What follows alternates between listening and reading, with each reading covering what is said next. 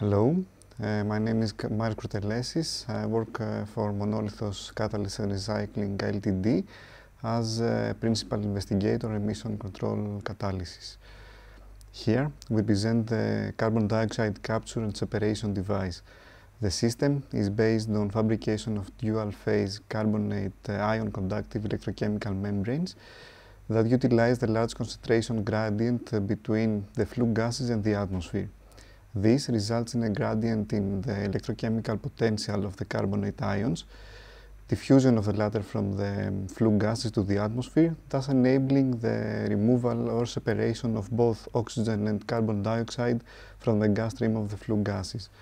Each membrane consists of a mixture of carbonate salts impregnated into a stainless steel filter that serves both as a mechanical support and electronic uh, conductor. Membranes uh, are repaired by direct impregnation method. The carbonate mixture is uh, at first melted at temperatures higher than 400 degrees Celsius to assure that the whole synthesis can be layout uh, temperature is above uh, the mixture's eutectic point. The stainless steel tubes are then impregnated uh, to create a dual phase membrane.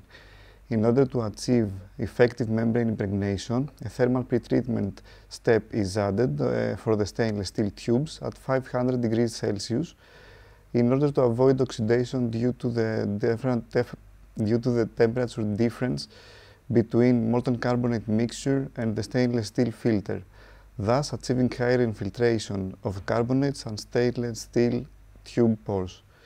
The impregnated membrane is then left to dry for 24 hours and subsequently sub calcined at temperatures higher than 400 degrees Celsius for one hour so as for the excess carbonates to be removed.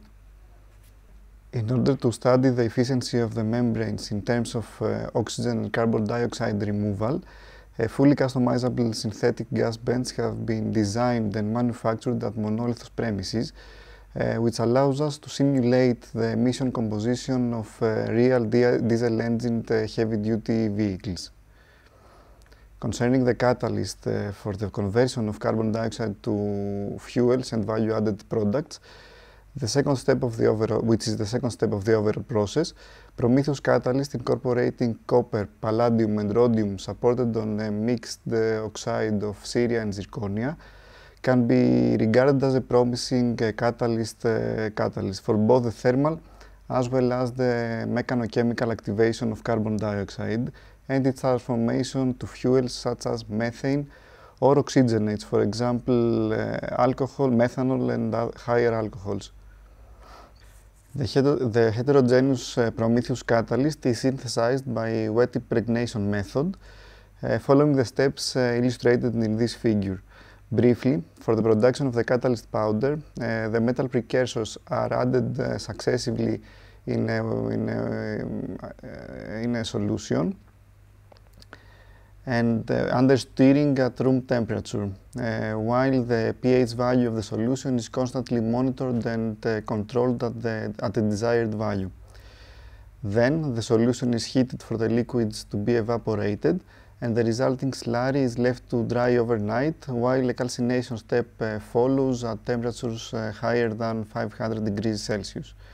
The production scale of Prometheus catalyst can reach uh, 100 kilograms um, using the tank reactor uh, uh, presented in this image, uh, which is a stainless steel reactor of 150 liters of volume.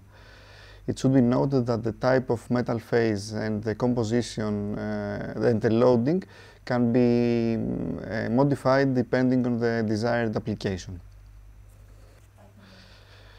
For the, for the, carbon dioxide hydrogenation experiments, uh, preliminary tests have been performed uh, in a custom-made apparatus uh, equipped with a a gas chromatograph while a new synthetic gas bench is, has been designed and is currently under preparation for uh, performing experiments at elevated pressures up to 55 bars and temperatures up to 400 degrees Celsius.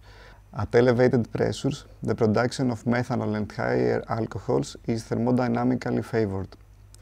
To that end, a stainless steel reactor has been designed and manufactured recently as presented in the picture. The analysis of the reaction products will be performed using a gas chromatograph equipped with a TCD and FID detector.